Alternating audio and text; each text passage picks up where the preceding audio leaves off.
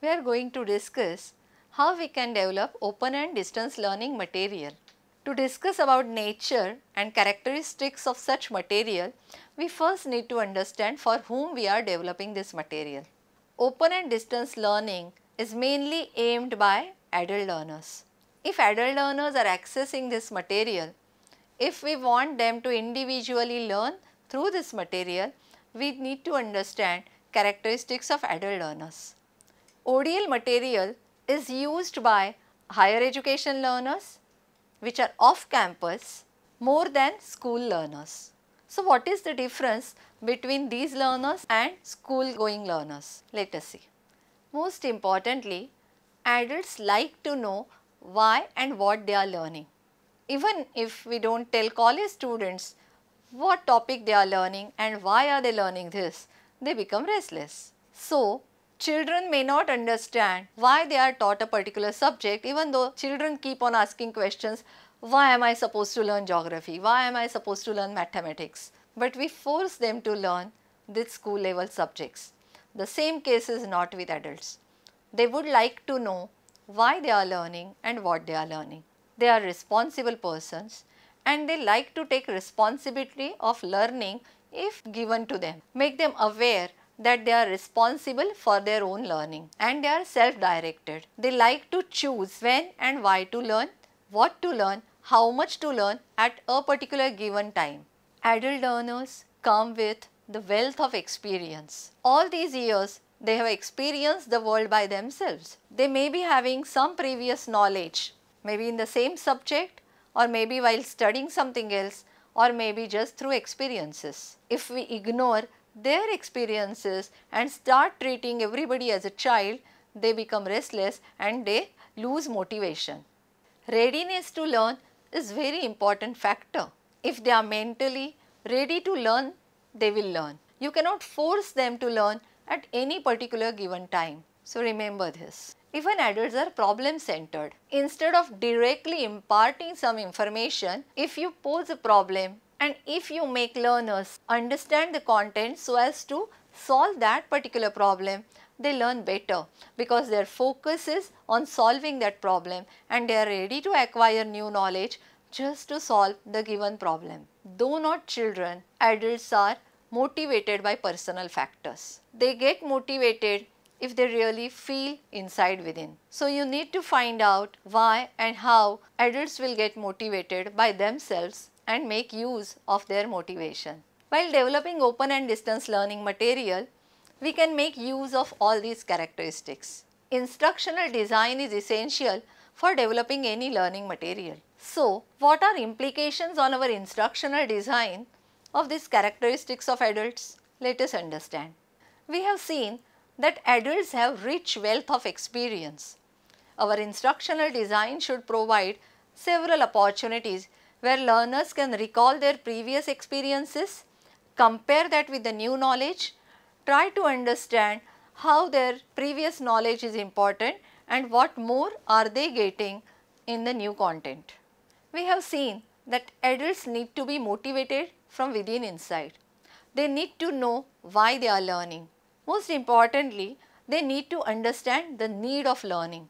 If you first establish the need of learning new content, they are ready with that perspective.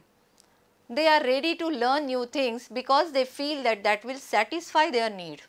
So, try to establish relevance between the content with their needs of life, with their needs of profession, with their needs of occupation.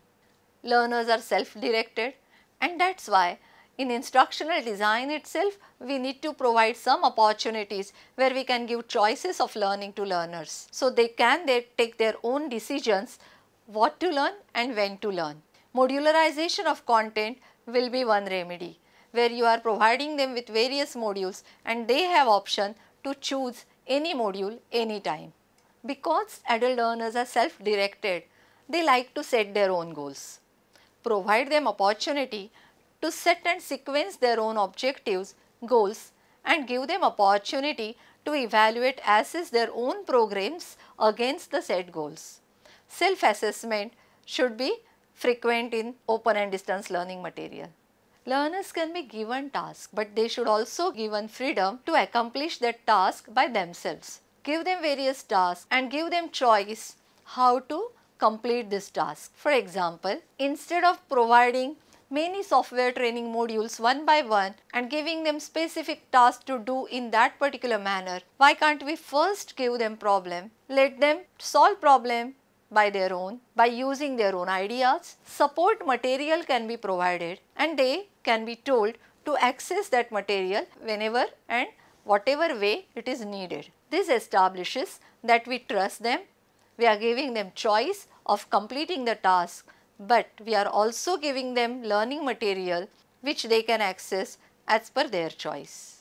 Knowledge for the sake of knowledge, information for the sake of information does not work in case of adult learners. Though children don't like, they go on receiving information without its relevance. But adult learners need to practice, they need to work, they need to apply knowledge whatever they are gaining.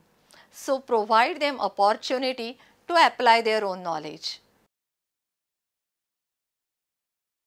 Let us once see principles of distance learning. As I mentioned earlier, explanation and exposition of material will not help. Give them chance to apply their knowledge instead of presenting knowledge to them. Let them acquire, let them learn through active participation. The learning task, learning content should be meaningful to learners, should be relevant to their world and their task should also match their objectives, their goals. They should also match with their previous knowledge.